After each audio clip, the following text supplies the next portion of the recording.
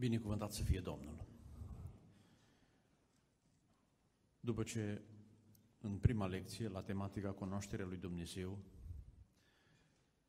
am văzut că cunoaștere înseamnă viață, necunoaștere înseamnă moarte, pentru că numai dacă vom afla de Dumnezeu și de căile sale vom putea fi mântuiți. Într-o a doua lecție ne-am dat seama că al cunoaște pe Dumnezeu este o lucrare foarte vastă și toată Scriptura, lucrarea Duhului Sfânt și deschiderea noastră poate să ne aducă o dezvăluire cât mai bogată despre Dumnezeu. Totuși El rămâne în parte ascuns și îl vom vedea așa cum este și vom discuta cu El în mod deschis de-abia în împărăția sa. De asemenea, aminteam într-o idee și în această seară o vom dezvolta, că revelația este sursa cunoașterii divine. Dumnezeu este nevăzut și necunoscut de om prin uh, posibilitățile și capacitățile sale umane, terestre și chiar cosmice, pentru că nu l-a întâlnit vreun uh, cosmonaut pe Dumnezeu, pe vreun astru.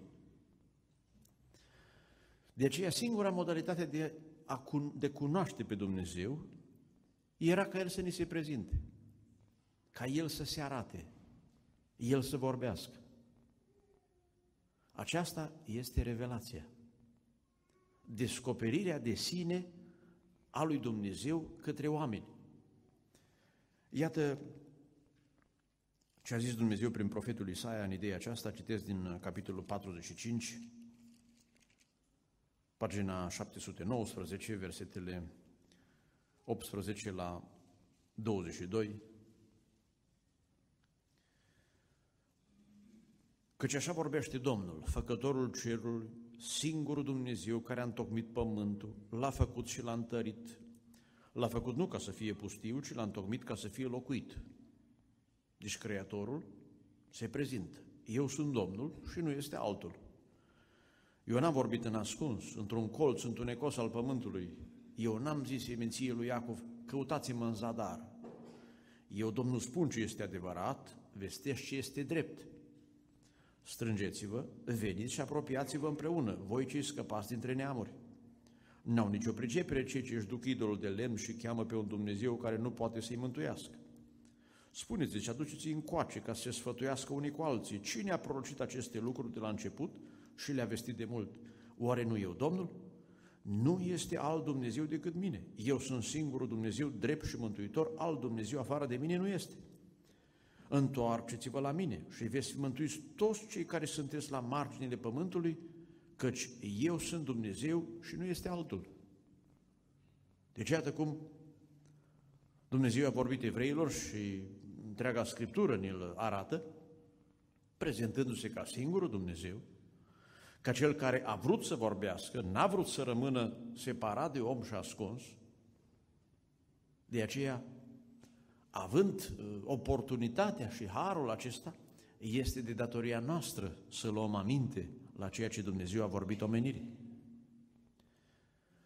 E drept că Dumnezeu s-a revelat în lumea creată și vom vorbi într-una din lecțiile viitoare, cel puțin într-un subcapitol despre acest aspect, dar uh, natura n-avea rolul să ne-L prezinte pe Dumnezeu, doar să ne prefațeze deschiderea lui Dumnezeu față de noi în etapele progresive ale cunoașterii, care în final vrea să ne apropie totalmente de Dumnezeu. Dumnezeu vrea în așa fel să ne pregătească încât noi să dorim întâlnirea cu El, să acceptăm părtășia cu El. Iată ce scria Pavel lui Timotei în 1 Timotei, capitolul 6, despre momentul mărturisirii lui de la botez, când omul declară că îl cunoaște pe Dumnezeu, are baza cunoașterii, baza mântuirii, și apoi aspiră la finalitate în mântuire. 1 Timotei 6 și de la versetul 13. te îndemnă înaintea lui Dumnezeu care dă viață tuturor lucrurilor și înaintea lui Hristos Iisus care a făcut acea frumoasă mărturisire înaintea lui Pilat din pont. Să păzești porunca fără prihană și fără vină până la arătarea Domnului nostru Iisus Hristos, care va fi făcută la vremea ei, de fericitul și singurul stăpânitor, împăratul împăraților și Domnul Domnilor. Singurul care are nemurirea, care locuiește într-o lumină de care nu te poți apropia, pe care niciun om nu l-a văzut, nici nu-l poate vedea, și care are cinstea și puterea veșnică. Amin. Haideți așadar să privim mai întâi în Vechiul Testament și apoi în Noul Testament la felul în care Dumnezeu s-a descoperit omenirii. Există o parte a revelației înainte de darea legii. Și vreau să parcurgem împreună aceste etape istorice. Haideți să ne imaginăm pe Adam, după ce avea nepoți, strănepoți, oamenii începuseră să mulțească pe pământ, cum el, împreună cu Eva, le povesteau despre grădina Edenului, despre felul în care Dumnezeu a creat lucrurile, despre porunca ce le-a dat-o. Ce a putut să le spună Adam și Eva oamenilor? Aveau câteva amintiri din Eden. Știau ceva despre poruncile lui Dumnezeu, despre necesitatea de a-L asculta, despre atitudinea lui categorică față de păcat, despre principiul jerfei, nu avem multe date în cartea Genesa. Dar din cele prezentate înțelegem că Adam și Eva au avut ce să povestească la urmaș. Și de atunci și până astăzi este un mod al lui Dumnezeu de a vorbi generațiilor prin ceea ce El a vorbit deja părinților lor. Adam și Eva n-au auzit de la părinții, ei știau direct de la Dumnezeu. Probabil că îi speria acea imagine a îngerului cu sabia de la poarta grădinii. Poate își doreau să stea în prezența lui Dumnezeu, dar au fost efectiv expulzați și lăsați pe pământ ca să îl lucreze și să se mulțească pe el. Și au trecut ani așa, sute, până aproximativ, făcând calculele după datele din Genesa 5, în jurul anului 1500-1600 de la creație, când omenirea se strecase într-un mod uh, foarte alarmant și în vremea aceea, citim în Cartea Genesa la capitolul 6, Dumnezeu din nou intervine. Găsește pe un om ales la suflet, pe noi, îi vorbește și face un legământ cu el. Citesc din Genesa 6, de la versetul 8. Dar noi a căpătat milă înaintea Domnului. Apoi versetul 13. Atunci Dumnezeu lui Noe, sfârșitul oricărei făpturi este hotărât înaintea mea, fiindcă a umplut pământul de sălnicie, iată că am se nimicesc împreună cu pământul. Și versetul 18.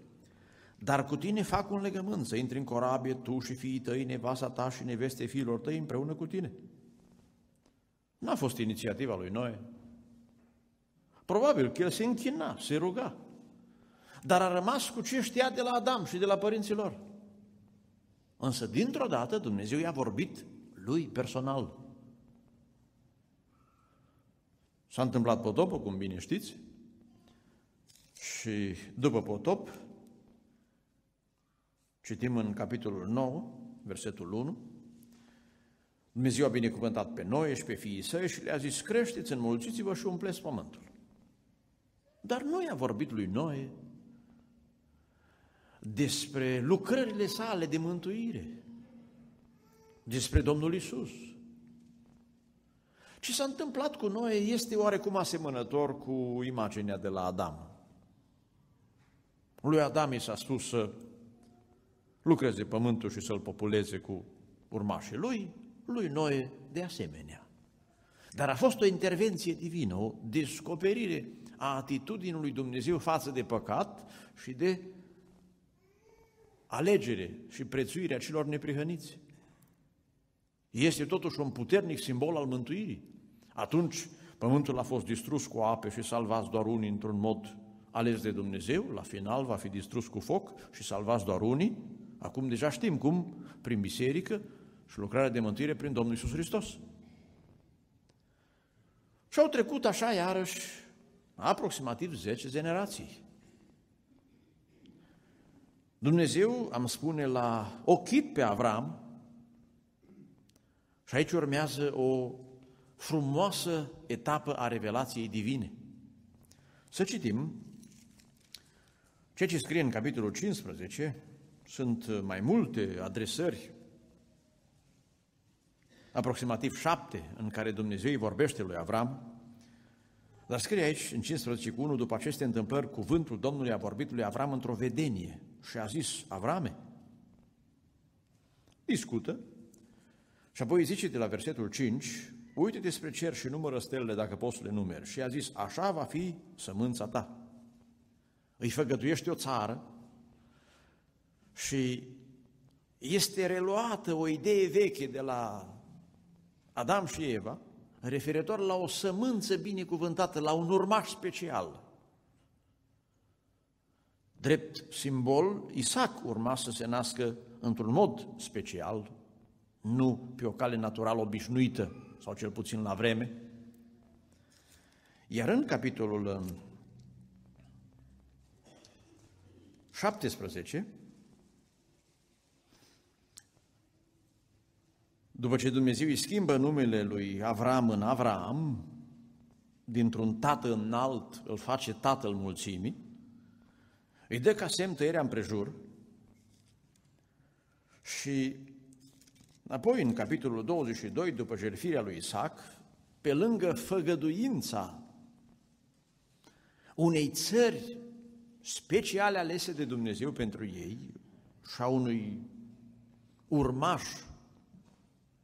din care se va naște un popor, Dumnezeu se jură și scrie aici, citesc de la versetul 16, uh, pe mine însumi jur, zice Domnul, pentru că ai făcut lucrul acesta și n-ai cruzat pe fiul tău, pe singurul tău fiu, te voi binecuvânta foarte mult și anume ca stelele cerului și ca nisipul de pe țărmul mării și sămânța ta va stăpâni cetățile vrăjmașilor ei.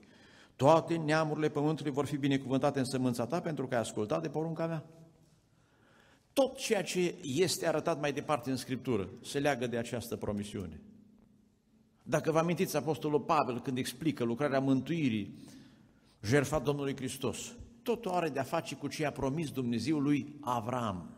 De aceea Dumnezeu se numește Dumnezeu lui Avram, Isaac și Iacov, pentru că de atunci, în mod concret, s-au pus bazele revelației mântuitoare, a felului în care Dumnezeu vrea să se ocupe de omenire. Apoi a urmat revelația de pe Sinai, cea mai deosebită din Vechiul Testament, cea mai complexă. Amintiți-vă de Moise care era la oi și într-o zi Dumnezeu i-a vorbit. L-a convins să se ducă în Egipt, să scoată poporul de acolo. I-a dat ca semn, scrie în Exod, capitolul 3, că împreună cu poporul se va întoarce pe acel munte și va sluji lui Dumnezeu. Și oprindu-ne în uh, Exod, capitolul 19, avem contextul revelației, cadrul fizic și spiritual. Iată ce scrie aici, de la versetul 17. Moise a scos poporul din tabără spre întâmpinarea lui Dumnezeu și s-au așezat la poalele muntelui. Muntele Sinai era tot numai fum, pentru că Domnul se pogorâse pe el în mijlocul focului. Fumul acesta se înălța ca fumul unui cuptor și tot muntele se cutremura cu putere. Trâmbița răsuna tot mai puternic, Moise vorbea și Dumnezeu răspundea cu glas tare. Domnul s-a pogorât pe muntele Sinai și anume pe vârful muntelui. Domnul a chemat pe Moise pe vârful muntelui și Moise s-a suit sus. Iată ce bază aveau evreii. Doar că Dumnezeu ne-a scos în mod miraculos. S-a prezentat în timp ce eram adunați toți și ne-a vorbit. Puteau să spună, ei n-am putut suporta modul atotputerne prin care Dumnezeu a vorbit, iar Moise a intermediat. discuțiile în continuare și astfel s-a dat toată legea prin acest om unic în istorie, Moise. Despre el citim în cartea Deuteronom, capitolul 34, la finalul vieții sale.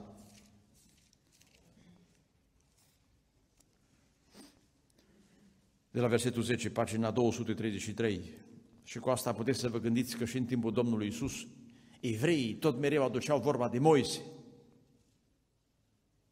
Pentru că Moise avea autoritatea ca unul care l-a auzit pe Dumnezeu vorbind, care discuta cu Dumnezeu.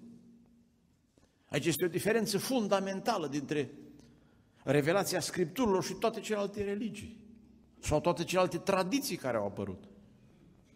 Este o diferență categorică în a vorbi Dumnezeu niște cuvinte oamenilor sau în a se gândi un om și a zice că așa a crezut el că e bine. Așa i s-a părut lui. Deci, Deuteronom 34 cu 10. În Israel nu s-a mai ridicat proroc ca Moise pe care Domnul să-l fi cunoscut față în față. Niciunul nu poate fi pus alături de el în ce privește toate semnele și minunile pe care le-a făcut trimis Dumnezeu să le facă în țara Egiptului, împotriva lui Faraon, împotriva supușilor lui și împotriva întregii țări.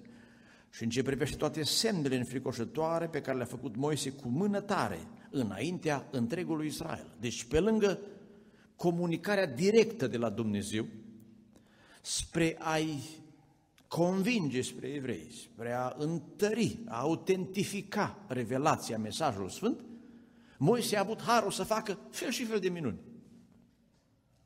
Aș putea spune că le făcea când voia. Dumnezeu i-a dat dreptul să le facă înaintea poporului, înaintea egiptenilor, minuni fără precedent. Ca tot să știe că Moise vorbea ca de la Dumnezeu. Și nu vom întâlni nicăieri în Scriptură ca Moise să fi spus ceva de la el. Ba la un moment dat chiar se apără și spune, veți vedea că ce fac nu fac din capul meu. Deci Scriptura are această bază solidă prin uh, descoperirea lui Dumnezeu prin Moise.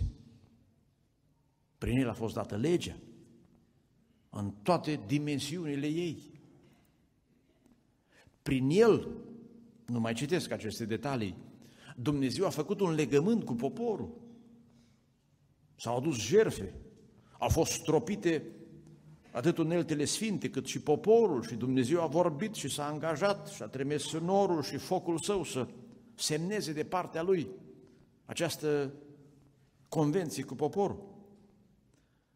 Și drept dovadă că Dumnezeu voia prin revelația sa să atragă poporul spre sine, în cărțile lui Moise, cele mai multe detalii sunt referitoare la cortul întâlnirii, la slujbă, la preoți, fiindcă Dumnezeu voia să locuiască în mijlocul lor. Iată ce citim din Deuteronom, capitolul 4, aici sunt cuvintele lui Moise, citim mai multe versete, la finele vieții lui, ce a înțeles el. Deuteronom 4, versetele 32 la 40. Cu ce cuvinte încerca să-i convingă pe evrei, să-i facă să înțeleagă cine este Dumnezeu și comuniunea sa cu poporul. Deci, Deuteronom 4, de 32. Întreabă vremurile străvechi care au fost înaintea ta din ziua când a făcut Dumnezeu pe om pe pământ și cercetează de la o margine a cerului la cealaltă.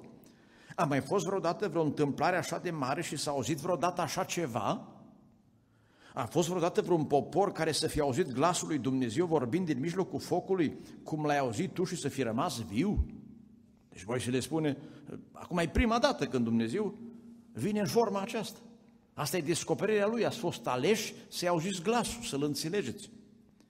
A fost vreodată vreun Dumnezeu care să fi căutat să ia un neam din mijlocul altui neam prin încercări, semne, minuni și lupte cu mână tare și cu braț întins și cu minuni fricoșate? Cum a făcut cu voi Domnul Dumnezeu vostru în Egipt și sub ochii voștri? Adică are vreo altă religie de pe glob? Vreo asemenea bază? Nici de cum. Numai tu ai fost martorul la aceste lucruri ca să cunoști. Iată scopul descoperirii divine, ca să cunoști că numai Domnul este Dumnezeu și că nu este alt Dumnezeu afară de El. Din cer te-a făcut să auzi glasul lui, ca să te învețe și pe pământ te-a făcut să vezi focul lui cel mare și ai auzit cuvintele lui din mijlocul focului. De aceea Dumnezeu era atât de indignat în Vechiul Testament când își făceau alți Dumnezei. Și le spunea, cu cine mă comparați? Nu m-am prezentat eu între voi, spunea Domnul, nu v-am vorbit, nu v-am dovedit scoțindu-vă din Egipt, tot nu vă este clar că eu sunt singurul Dumnezeu și descoperirea mea este adevărată? El a iubit pe părinții tăi și de aceea a ales sămânța lor după ei, după cum îi făgăduise lui Avram. El însuși te-a scos din Egipt și prin puterea lui cea mare a făcut toate acestea. El a izgolit dinaintea ta neamuri mai mari, la număr și mai tare decât tine, ca să se ducă în țara lor și să dea stăpânire. Cum vezi azi? Să știi, dar, în ziua aceasta. Și puneți în inimă că numai Domnul este Dumnezeu sus în cer și jos pe pământ și că nu este alt Dumnezeu afară de El. Păzește dar legile și poruncile Lui pe care ți le dau azi, ca să fii fericit tu și copiii tăi după tine și să ai zile multe în țara pe care ți-o dă Domnul Dumnezeul tău. De aceea, dragii mei, evreii au statutul lor special, că lor le-a vorbit Dumnezeu. Iată ce vă citesc din Roman 9, ce se spune despre ei și e adevărat. Asta spune Apostolul Pavel, care era apostolul neamurilor, dar scriind neamurilor le-a spus de fapt că mântuirea vine de la iudei, cum a spus și Domnul. Roman 9, citesc de la versetul 4. Ei sunt izraeliți, au înfierea, slava, legămintele, darea legii, slujba dumnezeiască, făgăduințele, patriarhii și din ei a ieșit după trup Hristosul care este mai presus de toate lucrurile, Dumnezeu binecuvântat în veci. Amin.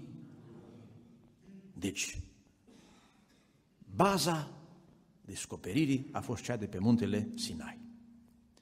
Au urmat alte momente în care Dumnezeu a continuat să se arate omenirii și să le vorbească. Următorul moment special din Vechiul Testament a fost cel din timpul regelui David. David este simbolul regatului, al uh, templului, al slavei, împreună cu ceea ce l-a continuat Solomon. Dumnezeu a vorbit lui David, i-a dat uh, schițele pentru templu, el era profet. În psalmii săi a vorbit foarte mult despre Domnul Hristos. Și David nu le-a rostit acestea doar ca o dorință de părinte, ca fiii lui să rămână pe tron și monarhia lui să domnească și dinastia să, să se perpetueze. Dar un verset vă citesc, uh, cartea 1 Cronici, capitolul 28, versetul 19, unde David are o mențiune, cred eu, importantă în discuția noastră. Ca o concluzie, zice el, 1 Cronici 28 cu 19, toate acestea, a zis David, toate lucrările zvodului acestuia, mi le-a făcut cunoscut Domnul, însemnându-le înscris cu mâna Lui. Vedeți că revelația la originea ei are înscrisuri de la Dumnezeu. Chiar vă provoc să gândiți în ce condiții i-a dat Dumnezeu lui David aceste date înscrise cu mâna lui, auzi? Au venit din cer planșele? Nu știu cum. Pe Sinai știți că de două ori a fost nevoie Dumnezeu să îi dea tablele scrise lui Moise. Cum să n-aibă David siguranță și urmașii lui? Când credinciosul David a spus fiilor săi, trebuie să construim casa aceasta frumoasă. Voi ați fost aleși de Dumnezeu, adună leviții, armata și pe toți îi organizează și le spune, uite, astea mi le-a dat Dumnezeu. Astea nu sunt ideile mele, că așa m-am gândit că e mai frumos, n-am vorbit cu niște arhitecți. Astea vin de la Dumnezeu. De ce Scriptura e atât de importantă? Nu doar o scriere oarecare, profetică, istorică, de înțelepciune. Au urmat alți profeți și toți au adus dezvăluiri noi ale planului divin. S-a clădit pe aceeași structură de până atunci. Niciun profet n-a venit să-l nege pe Moise. Și din potrivă, la lege și la mărturie, spuneau ei. Le aminteau făgăduințele divine, astfel un rol foarte important la Isaia, numit Evanghelistul Vechiului Testament. Cartea sa e structurată ca și Biblia. Primele 39 de capitole, ca și primele 39 cărți din Biblie, se ocupă de partea vechi testamentală. Și din capitolul 40 se vorbește despre Ioan Botezătorul și apoi se trece la Domnul Iisus Hristos. Exact cum s-a întâmplat. Ioan Botezătorul a făcut trecerea și apoi Noul Testament le dezvăluie pe Domnul Iisus.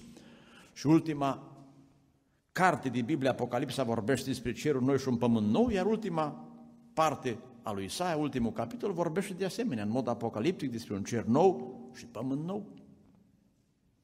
Apoi, în mod deosebit, Ezechiel și Daniel aduc noi dezvăluiri care sunt completate de cartea Apocalipsa. Deci iată că până la venirea Domnului Isus, deja Dumnezeu vorbise, așa cum uh, citim în uh, concluzie, pentru prima parte în uh, Evrei, capitolul 1, de la versetul 1, după ce a vorbit în vechime părinților noștri prin proroci în multe rânduri și în multe chipuri. Câteva rânduri le amintirăm noi în această seară. La sfârșitul acestor zile ne-a vorbit prin Fiul. Deci este foarte importantă Scriptura Vechiului Testament. Am citit recent o carte care poartă titlul Scriptura din care a predicat și pe care a iubit-o Domnul Isus. E Vechiul Testament. Dar nu ne putem limita numai la Vechiul Testament când ne-a venit și Noul Testament și când revelația a fost îmbogățită. În uh, Noul Testament, prin Domnul Isus, citesc din Ioan, capitolul 1, avem uh, descoperirile cele mai înalte. Iată ce scrie aici, Ioan capitolul 1, citesc de la versetul 1. La început era cuvântul și cuvântul era cu Dumnezeu și cuvântul era Dumnezeu. El era la început cu Dumnezeu. Moise a vorbit numai ce i-au spus îngerii pe munte. Dar Domnul Iisus a fost în cer cu Dumnezeu. De aceea scrie aici, de la versetul 17, că legea a fost dată prin Moise, dar harul și adevărul, adică explicațiile complete și totodată harul, mântuirea, au venit prin Iisus Hristos. Nimeni n-a văzut vreodată pe Dumnezeu singurului Fiu care este în sânul Tatălui, acela l-a făcut cunoscut. De aceea, în cunoașterea lui Dumnezeu, cele mai multe date trebuie să le extragem din cuvintele Domnului Isus. Moise a cerut să vadă pe Dumnezeu în dorința lui. Ce a spus Dumnezeu? Așa, pe la spate. O imagine și gata, ca într-un film. Pe când Domnul Isus a fost cu Tatăl în veșnicie cât de clar era Domnul Iisus, cum arată Tatăl, ce vrea Tatăl, ce plan are. A putut să ne vorbească într-un mod deschis și clar, dar a făcut-o doar în măsura înțelegerii ucenicilor și a noastră și potrivit cu planurile lui Dumnezeu. Rămânând aici în Ioan, citim în capitolul 1 că Dumnezeu a trimis, cum era profețit din Isaia și am amintit, pe cineva să-i pregătească calea Fiului lui Dumnezeu. Ioan. Știți cum a crescut Ioan, da? Singur la părinți. Părinții au fost mai în vârstă, probabil au murit. Și a rămas singur în pustie, în meditație, ca și Moise altă dată, căci dintre cei născuți din femei Ioan are un loc special. Și acolo în postie Dumnezeu i-a vorbit. Iată ce citim din Ioan, capitolul 1, de la versetul 29. A doua zi Ioan a văzut pe Iisus venind la el și a zis, iată mielul lui Dumnezeu care ridică păcatul lumii. El este acela despre care ziceam, după mine vine un om care este înaintea mea, căci era înainte de mine. Eu nu-l cunoșteam. Dar tocmai pentru aceasta am venit să botez cu apă ca el să fie cunoscut lui Israel. Iată ce rol important a avut Ioan. Ioan a făcut următoarea mărturisire. Am văzut Duhul pogorându-se din cer ca un porobel și oprindu-se peste el. Eu nu-l cunoșteam dar cel ce m-a trimis să botez cu apă. Și în vremea aceea era o discuție, de unde vine botezul lui Ioan? De la oameni sau din cer? Da, din cer, Dumnezeu l-a făcut să înțeleagă, du-te și botează oamenii, provoacă la pocăință. Pentru că urmează să vină o lucrare specială, cea mai importantă. Și continuă Ioan spunând, versetul 34, și eu am văzut lucrul acesta și am mărturisit că El este Fiul lui Dumnezeu. A intrat apoi Domnul Iisus Hristos în scenă, în lucrare. revelația întrupării, a lucrării, a jertfei sale. Asta e taina Evlaviei. Ucenicii și-au dat seama. Maria, cum nu știa ea căci este născut în chip supranatural? Iosif de asemenea, și alții, Simon și Ana. Apoi, în mod special, ucenici. Au înțeles că este trimisul lui Dumnezeu. Aici a fost uh, criza teologică din vremea aceea. Oamenii spuneau, e fiul tâmplarului. Și eu spunea, am venit din cer. Eu ce spun, spun de la Tatăl. Ce diferență! Să crezi că e un rabin oarecare, în cel mai bun caz, sau că este trimisul lui Dumnezeu din cer. Și era. Dar Dumnezeu lucrează în felul ales de El. Iată ce citim din aceeași Evanghelie, capitolul 8,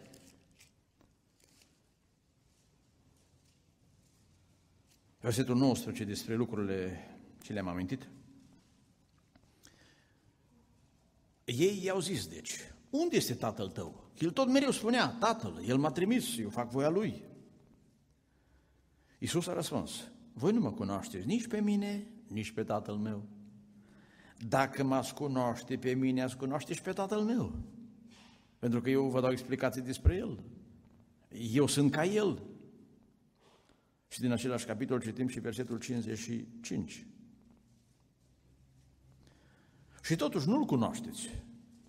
Spunea Domnul Iisus, eu îl cunosc bine și dacă aș zice că nu-L cunosc, aș fi și eu un mincinos ca voi. Dar îl cunosc și păzesc cuvântul Lui. Cum să nu-L cunosc pe Tatăl? Amintiți-vă că și demonii îl cunoșteau pe Domnul Iisus. Spuneau, știm cine ești. Dar în lumea spirituală este alt sistem de cunoaștere, nu ca la noi, doar că l-am văzut cândva, știu ceva despre el sau mi-amintesc ori nu mi-amintesc. Însă numai cei aleși de Dumnezeu, cei care au avut harul acesta au putut să-și dea seama cine Domnul Isus. I-a pus numele Isus, acesta era numele său pământesc. De aceea striga profetul Isaia 53, cine din cei din vremea lui a crezut? Cine a putut să înțeleagă? Ucenici. Au avut uh, dovezi de semne și minuni. De aceea spunea Domnul la un moment dat, măi, credeți măcar pentru lucrările astea. Și Nicodim recunoaște, zicând, nimeni nu poate face așa ceva numai dacă e venit de la Dumnezeu. Deci aveau motive să creadă și totuși se împotriveau.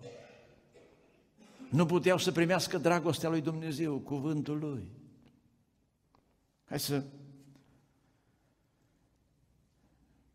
mai adăugăm tot din Evanghelia după Ioan, din capitolul 20.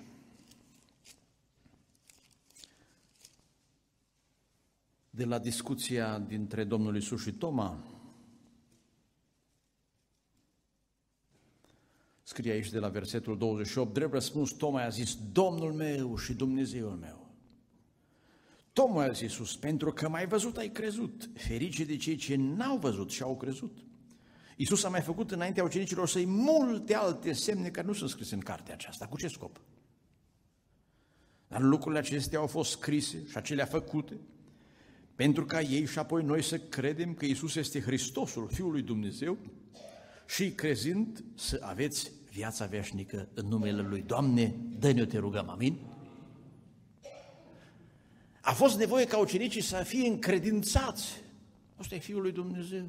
Tot ce ne-a spus El este adevărul. Aici a intervenit revelația cuvântului. Domnul Iisus le-a adus explicații. Știți că spunea El, Ați auzit că s-a zis celor din vechime, să nu uciți, dar eu vă spun nici măcar să nu urâți. Moise a dat dezlegare pentru divorț, dar de la început a fost așa, deci s-au făcut modificări față de legea lui Moise. S-au făcut aprofundări și ei trebuiau să creadă. Însă majoritatea evreilor și în zi de astăzi se țin numai de Vechiul Testament, recunosc revelația de pe Sinai, dar nu recunosc revelația prin Domnul Isus. Nu pot să înțeleagă. Când pentru cei care au ajuns să priceapă, totul este atât de clar. Iată ce spunea același Ioan în deschiderea epistolei sale celei din tâi, pagina 1198, citim de la versetul 1 la 3.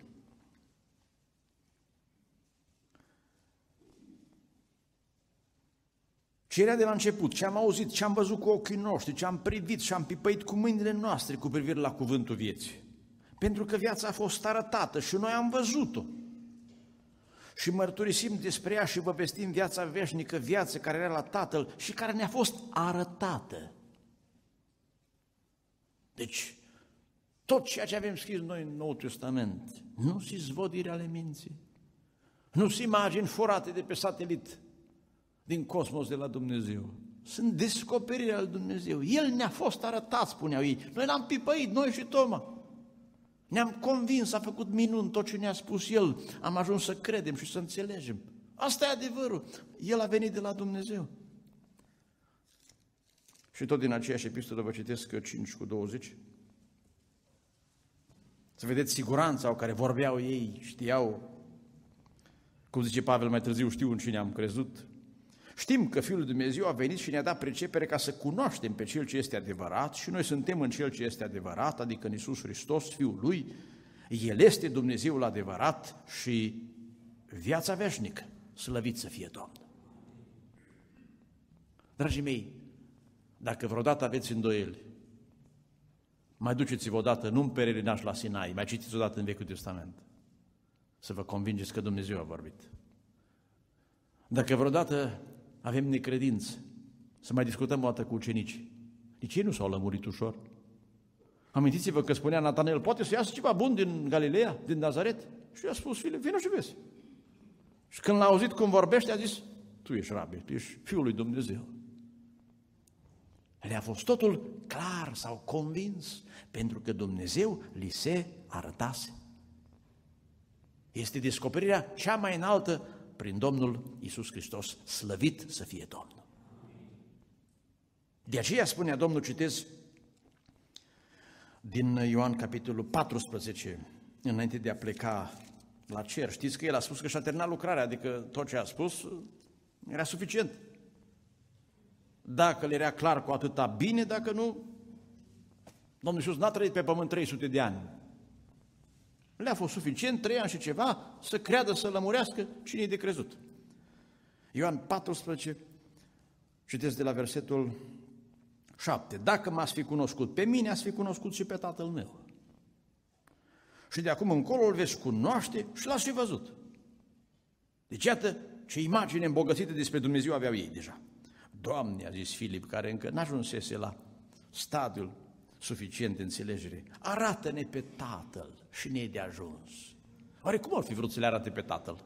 Să se despice așa cerul și să o zărească și ei odată? Și care ar fi fost avantajul? N-au văzut ei, trei dintre ei, pe muntele schimbării la față, pe Domnul Isus, pe Moise și pe Elie în slavă? Și pe când s-au trezit, Domnul Isus era îmbrăcat ca și ei. Ba încă Domnul le-a și spus despre vedenia aceea să nu spună la nimeni până nu va învia din morți. Adică vă e suficient cu cât v-am convins. Iisus i-a zis, de atâta vreme sunt cu voi și nu m-ați cunoscut, Filipe. Cine m-a văzut pe mine, a văzut pe Tatăl. Adică eu îl reprezint pe Tatăl, acesta e stilul lui, tot ce am spus eu este voia lui, eu nu spun de la mine, el m-a trimis să vorbesc așa. Cum zici tu, dar arată-ne pe Tatăl? Nu crezi că eu sunt în Tatăl și Tatăl este în mine? Cuvintele pe care vi le spun eu nu le spun de la mine, ci Tatăl care locuiește în mine, El face aceste lucrări ale Lui. Aceasta este așadar siguranța cunoașterii noastre. Fac și o mică paranteză.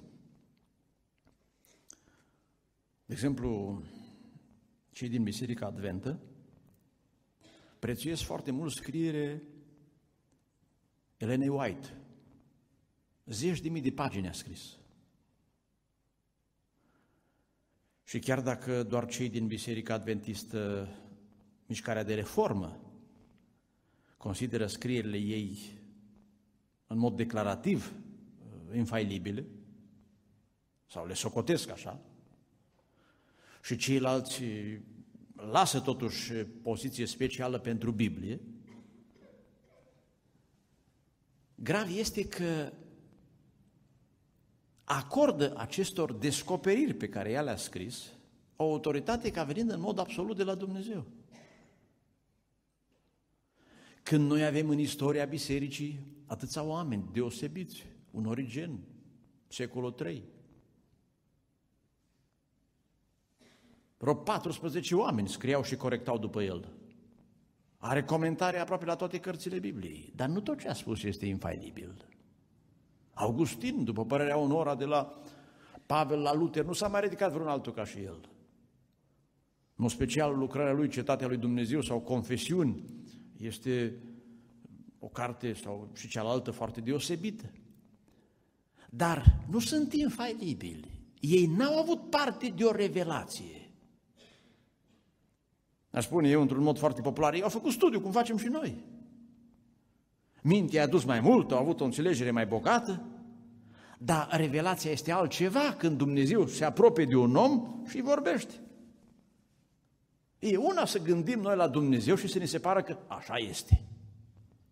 Și cu totul altceva să-ți vorbească Dumnezeu cu toată claritatea și siguranța. Am amintit acestea pentru că vreau în continuare să vă arăt ultima parte a revelației divine, revelația prin apostoli. Și prin ei se încheie revelația. Celelalte religii pretind revelații ulterioare. Mahomed, branhamiștii, bahaiștii și alte știința creștină, mormonii și așa mai departe. Socotesc că Dumnezeu s-a mai arătat altor oameni și se agață de noi revelații, ca și cum un înger special s-a arătat unui om și l-a dus la niște tăblițe să le dezgroapă și să le descifreze. Da, de unde? Acestea sunt gândiri ale oamenilor sau în situații mai grave, dezvăluiri demonice, imixiuni ale celui rău în planul lui Dumnezeu.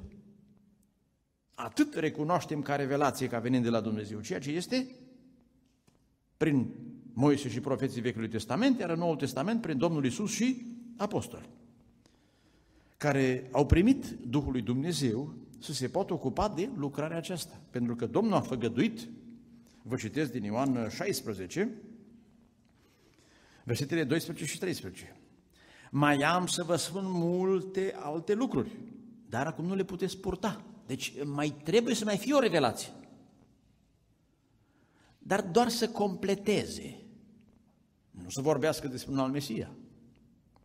Când va veni mângâietorul, Duhul adevărului are să vă călăuzească în tot adevărul, căci El nu va vorbi de la El, și va vorbi tot ce va fi auzit și vă va descoperi lucrurile viitoare. Deci Duhul Dumnezeu venea de la Dumnezeu, putea să spună foarte clar.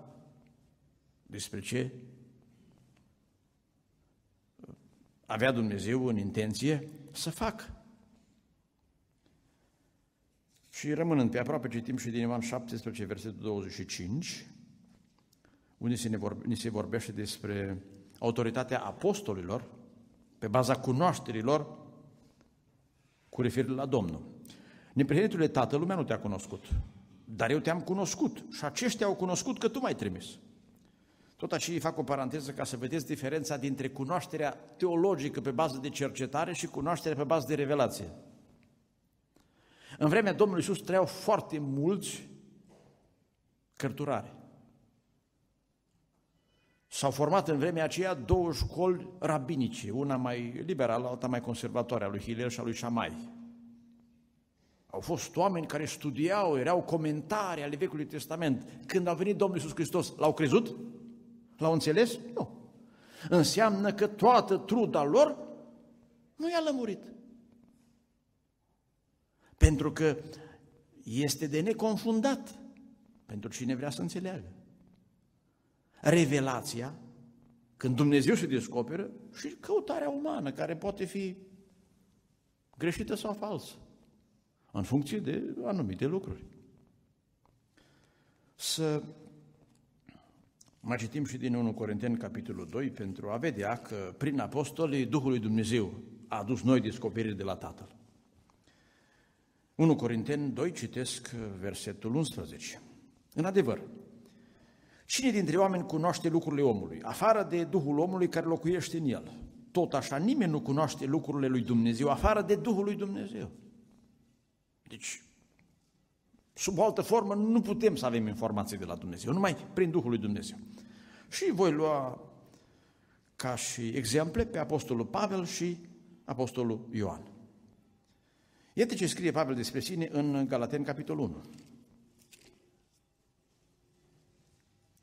El era un bun cunoscător al Scripturilor Vechiului Testament, dar astea nu l-au ajutat să înțeleagă într-un mod clar adevărul. A fost nevoie să-i se descopere Domnul. Și scrie la aici, că la 1 cu 11, fraților, vă mărturisesc că Evanghelia provodită de mine nu este de o bârșă omenească, pentru că n-am primit-o, nici n-am învățat-o de la vreun om, ci prin descoperirea lui Isus Hristos. Deci lui a vorbit Domnul și de aceea spune el că ce am primit de la Domnul ce v-am învățat. Ori de câte ori citim din Biblie, asta e ceva de la Domnul. Când predică vreun frate sau prorocește cineva, astea le cercetăm. Căutăm cei buni, le punem în lumina Scripturilor, nu confundăm descoperirile noastre și căutările noastre cu revelația lui Dumnezeu. Iată ce scrie tot uh, Pavel în Efeseni 3. Prin el uh, s-au adus complectări foarte mari. Hai să vă spun uh, ceva ce ucenicii nu puteau să primească atunci și a fost nevoie ca Duhul Sfânt să descopere mai târziu. Vă amintiți ce l-au întrebat ucenicii pe Domnul Iisus după înviere? În vremea aceasta ai de gând să așezi împărăția? Ce discutau cei doi în drum spre Emaus? Noi credeam că va instala împărăția în felul în care înțelegem noi. Nu puteau să primească felul în care plănuise Dumnezeu să lucreze și pe care vi-l citesc acum aici. Ar fi fost un șoc pentru ei, o neînțelegere. Întreb, este doar o ipoteză. Ori ar fi fost atât de șocați ca cei din Ioan 6 care au zis, asta e prea de tot? Să le fi spus Domnul atunci felul în care lucrează? Probabil. Erau nevrăznici. Erau încă într-o clasă prea primară ca să le spun aceste date. Trebuia să mai umble la școală. Și acum zice Pavel aici, Efeseni 3, citesc de la versetul 3. Prin descoperire dumnezeiască am luat cunoștință de taina aceasta. N-a fost înțeleasă de nimeni, era o taină despre care vă scrisei în puține cuvinte. Citindu-le, vă puteți închipui priceperea pe care o am eu despre taina lui Hristos, care n-a fost făcută cunoscut fiilor oamenilor în celelalte viacuri, deci era ceva nou, completarea revelației. În felul cum a fost descoperit acum Sfinților Apostoli și prorocii lui Hristos prin Duhul, numai prin Duhul. Că adică neamurile sunt împreună moștenitoare cu noi, alcătuiesc un singur trup cu noi și au parte cu noi la aceeași făgăduință în Hristos Iisus prin Evanghelia aceea, al cărei slujitor am fost făcut eu, după darul Harului Dumnezeu dat mie prin lucrarea puterii Lui. Vă amintiți cum l-au luat la rost frații din Ierusalim pe Petru când s-au dus la neamuri? Cum să le fi spus Domnul că tot ce le-a promis Dumnezeu la evrei valabil și pentru cei dintre neamuri care se pocăiesc? Că nu înțelegea una ca asta. S-a dus la unul dintre neamuri care era evlavios și le-a spus, cum, dar ce cauți acolo? Stați să vă explic, măi, Duhul Sfânt a venit peste ei. Și apoi Pavel, care a primit harul să fie apostolul neamurilor, l-a înțeles că de fapt a scria în Vechiul Testament aceasta, că Dumnezeu va binecuvânta toate neamurile în sămânța lui Avram și au început să se lumineze ei. Aha, asta a zis Dumnezeu, că vor veni de la răsărit și de la apus și Domnul le spunea, dar n-au înțeles. Și vor sta la masă cu Avram, cu Isaac și fii împărăție, unii vor fi scoși afară. Au auzit ei predica, dar n-au înțeles că a fost nevoie de o desăvârșire, de o completare a revelației. Și încheind ideea despre Apostolul Pavel, vă citesc din Coloseni 1, unde el vorbește despre mandatul său pe linia aceasta, Coloseni 1 cu 25. Slujitorul ei am fost făcut eu după isprăvnicia pe care mi-a dat-o Dumnezeu pentru voi ca să întrejesc cuvântul lui Dumnezeu. Deci Pavel a avut menirea să mai scrie cărți în Biblie. Despre taine, zice el în versetele următoare. Și ultimul exemplu, Evanghelistul și Apostolul Ioan. Prin el Dumnezeu a dat ultima revelație. Iată ce scrie în Apocalipsa, capitolul 1. Vedeți, și Apocalipsa n-a fost dată prin vreun altul. Eu cred că Apostolul Petru și Pavel s-au gândit și ei la venire și au scris ceva. Dar n-au avut descoperirea asta până n-a venit de sus.